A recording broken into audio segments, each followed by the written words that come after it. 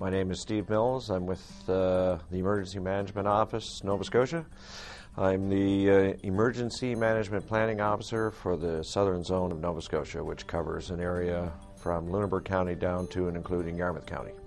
I'm uh, more or less a consultant uh, for municipalities uh, for their local emergency management uh, uh, organizations. For ground search and rescue, uh, we liaise with Red Cross, community services, fire departments, RCMP, municipal police, basically any first and second responder to, to any sort of an emergency. A lot of people ask us, is, uh, when does EMO come in and take over? Well, we never take over. We, uh, we add a layer of support uh, for the municipalities. When it gets beyond their capabilities, that's when they generally will ask us for help. Normally, we'll be there anyway if there is an emergency or, or very close.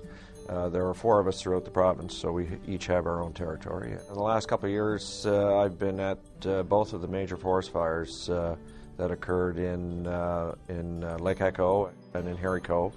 Uh, also, uh, forest fires in Shelburne County, the uh, ice jams in Stellarton, a number of tropical storms and hurricanes throughout the province. We've been there to gain situational awareness and pass that on to the Joint Emergency Operations Center uh, so that they can provide assistance as well to the municipalities and to provide information to government and uh, the Minister for Emergency Management. The biggest thing is to have a plan. Um, have a plan to uh, of where you're going to go uh, should an emergency take place.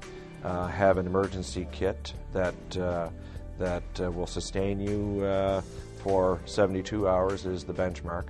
Um, and if you are in your home, uh, to be prepared for 72 hours because that is the time that it takes for emergency responders to get to you.